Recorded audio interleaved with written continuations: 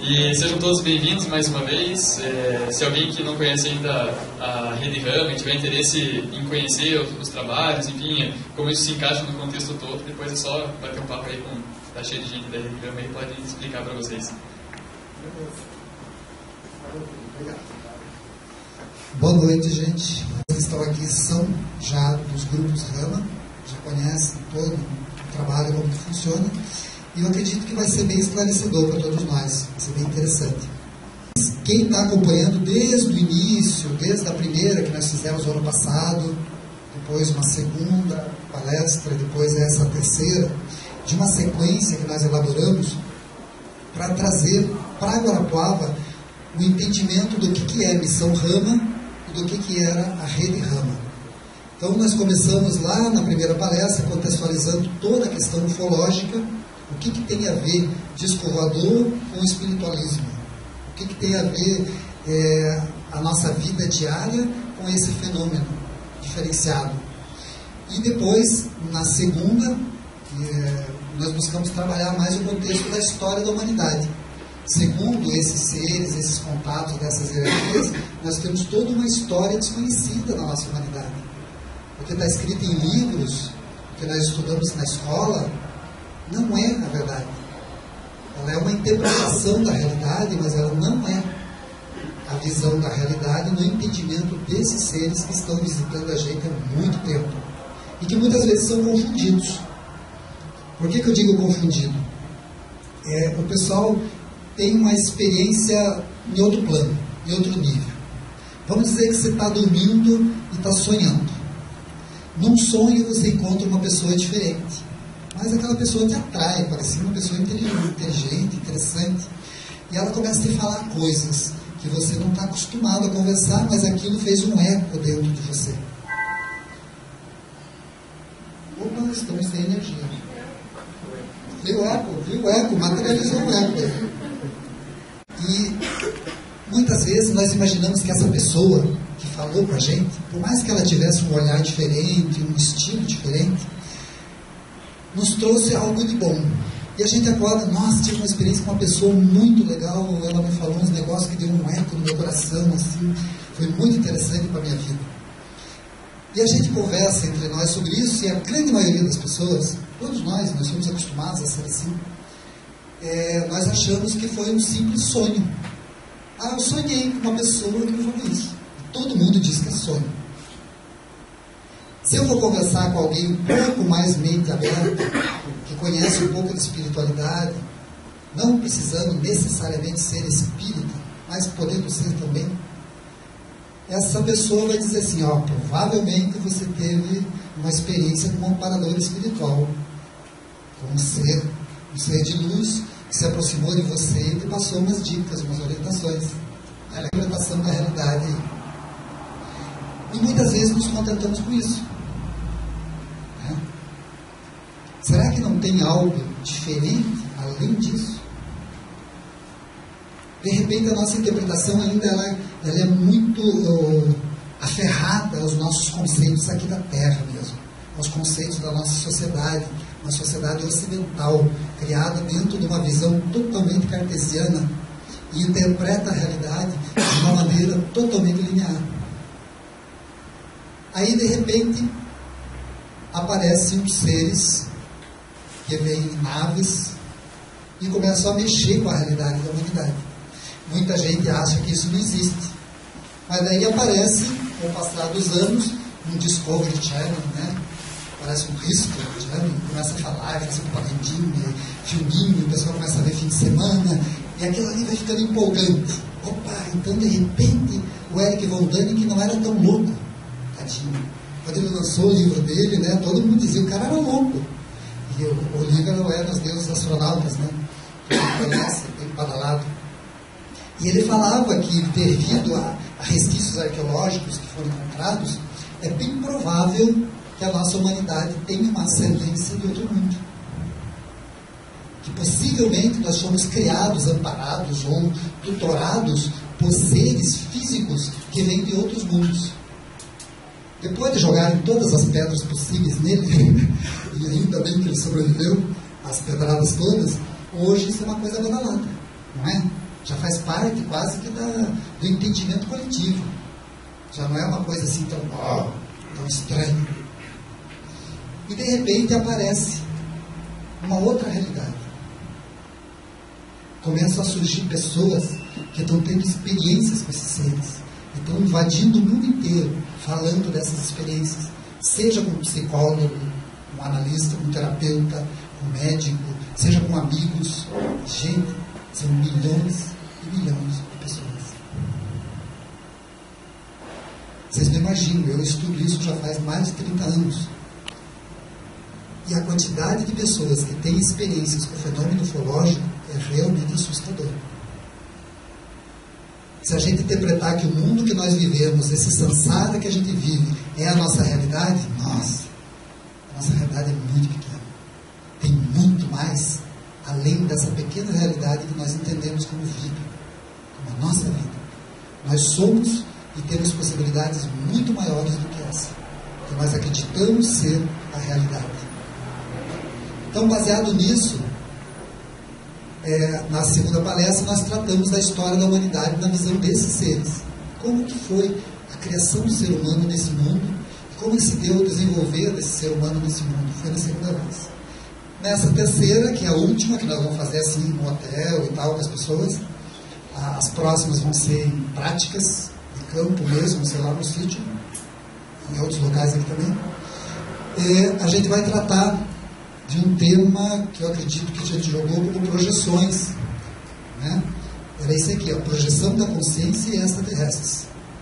Esse foi o tema que a gente lançou para tentar lançar luz a um entendimento um pouco mais amplo, aprofundar tudo aquilo que nós vimos nas anteriores. Essa imagem eu coloquei aqui porque muitos grupos perguntam, mas como que é o violeta? A gente mentaliza a luz violeta, não sei o que lá. né? E esse aqui é o tom, gente. Não é cor-de-rosa. Tá? Não é roxo, aquele roxo que o padre usa para enterrar. Pessoal lá, é a extrema-unção, né? Não, aquilo não é violeta. Violeta, esse, esse tom é violeta. Tá bom? Então ficou mais uma dica aí, fica mais fácil. Então, fazendo uma leve retrospectiva, muito rapidinha, é, essa nossa reunião hoje vai ser mais rápida que as anteriores. As anteriores duraram 4 horas, 3 horas, essa vai ser de 2 horas só. No máximo uma hora e meia. Então vamos tentar ser um pouco mais rapidinho para abrir perguntas e respostas. Já que nós estamos no grupo Nazir, melhor, mais fácil. A missão Rama, para quem não conhece, ela se originou em 1974. 1974, através do contato de alguns jovens peruanos é, que tiveram experiências com UFOs, com esses seres, é, começaram a sistematizar uma maneira de como as pessoas crescerem, se desenvolverem e se vincularem a esses seres, estabelecendo contato e tal, e buscando levar isso ao seu crescimento como indivíduo buscando nada mais, nada menos do que ser, do que ser seres humanos melhores. Melhores tanto para o planeta quanto os seus semelhantes e para si mesmo, para sua família e tudo mais. Então, dentro disso foi elaborado o que nós chamamos de guia de práticas. Existe um guia de práticas que os grupos se reúnem e desenvolvem algumas práticas e algumas atividades coletivas e o grupo vai se aprimorando, crescendo e se desenvolvendo através dessa sequência. ali, para quem já leu o livro Semeadores de Vida, conta mais ou menos o que, que seria. Né?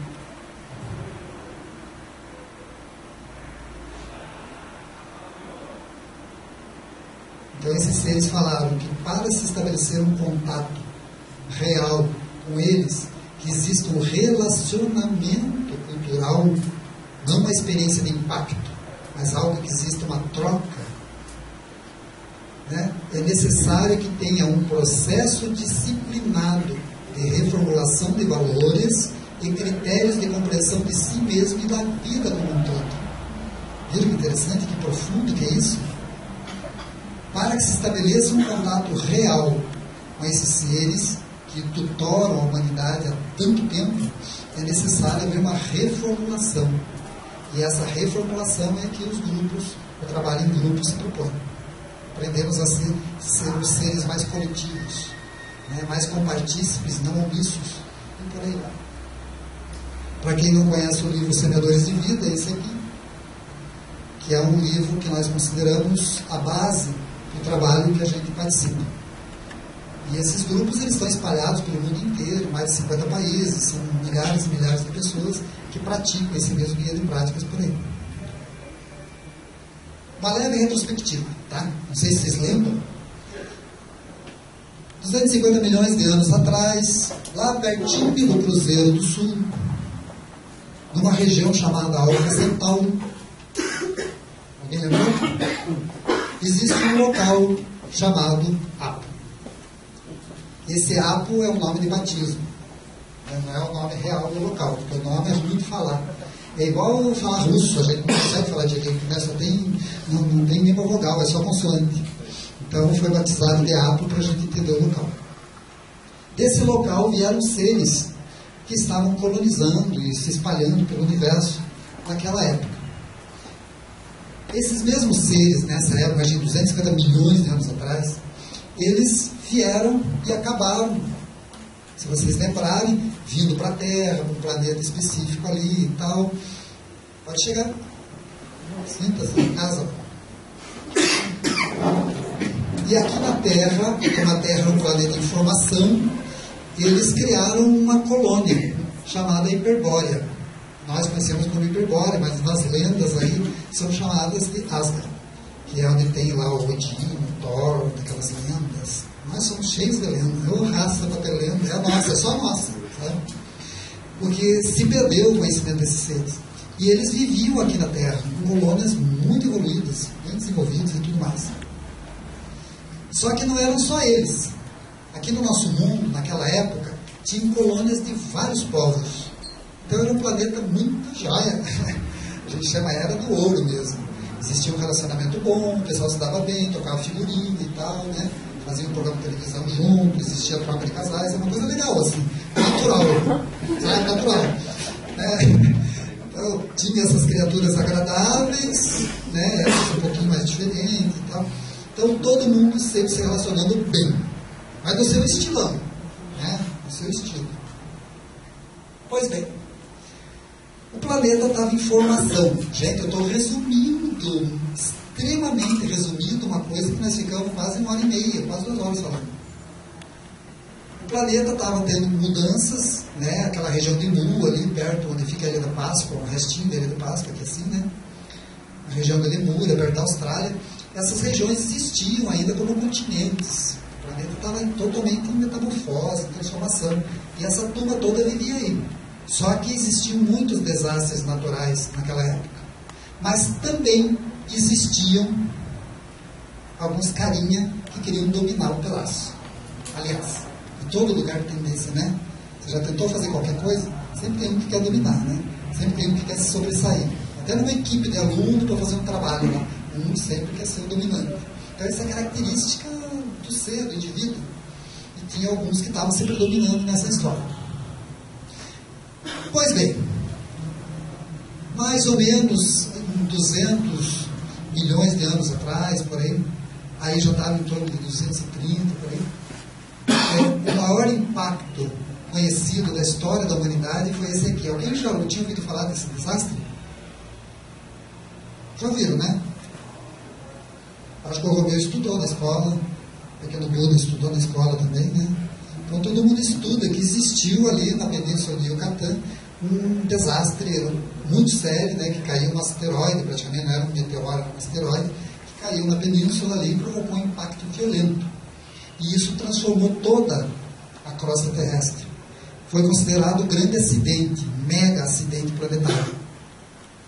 Alguns desses seres que moravam aqui conseguiram ir para refúgios subterrâneos. Mas a grande maioria desses seres acabaram ficando isso aí. Restaram algumas colônias, perderam praticamente tudo que eles tinham, desenvolvimento, entendimento, conhecimento.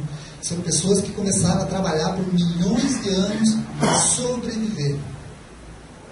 Elas já não tinham praticamente relação com ninguém mais, estavam isoladas aqui e tentando sobreviver como, como podiam. Então, perdida essa tecnologia, e com isso se perdeu também com o tempo, a capacidade reprodutiva foi diminuindo, e isso é um fenômeno bastante comum, quando se começarem a estudar mais a fundo esse negócio, vocês vão ver que muitas das raças que estão se aproximando da gente e que estão abduzindo pessoas, os fenômenos da abdução, principalmente norte-americano e tal, eles falam que a raça deles perdeu a capacidade de se reproduzir. E eles fazem experiências com pessoas para tentar criar um novo genótipo para que eles tenham capacidade reprodutiva. Então eles têm que ficar fazendo clones deles, eles não se reproduzem mais. Quer dizer, em vez de ser uma planta de semente, eles viram planta de enxertia. Uma planta que é enxertada é um clone. E esse clone não dura muito. Nenhum clone dura muito. O que dura é o que vem das sementes. Então as pessoas, os indivíduos, reproduzindo por um mecanismo natural, elas têm uma capacidade de sobrevivência muito maior, muito mais resistência, mais longevidade do que um indivíduo produzido por clonagem, por enxertia, vamos dizer assim. Então, alguns desses que sobraram, que nós chamamos aqui de colonos, eles começaram a se organizar. Né? E, como eles tinham restinhos de tecnologia, alguns desses, que eram derivados dos povos de Orion, esses caras começaram a ver que eles poderiam fazer experiências genéticas com indivíduos animais que existiam no planeta. O Romeu, você já melhor apagar essa luz ali? Sim. Acho que fica melhor. Acho que fica mais agradável para quem está lá atrás. Né? Então, eles começaram a pegar um indivíduo que nós chamamos hoje de procônsul e começaram a fazer experiências genéticas com a genética deles, desses povos de Orion, que nós chamamos de orianos aqui. E começaram a tentar criar proto-homens para desenvolver uma capacidade possível de vir a ter novos corpos para que eles mesmos habitassem. Olha que legal essa rapaziada. Essa aqui é a primeira dúvida dos nossos ancestrais. Alguém se identifica com algum? algum parente, algum vizinho? É. Eu acredito que o povo de Guarapuava ou é esse, esse aqui. Tem que ser mais peludinho, né? Porque é fácil, né? O inverno é aquela triste.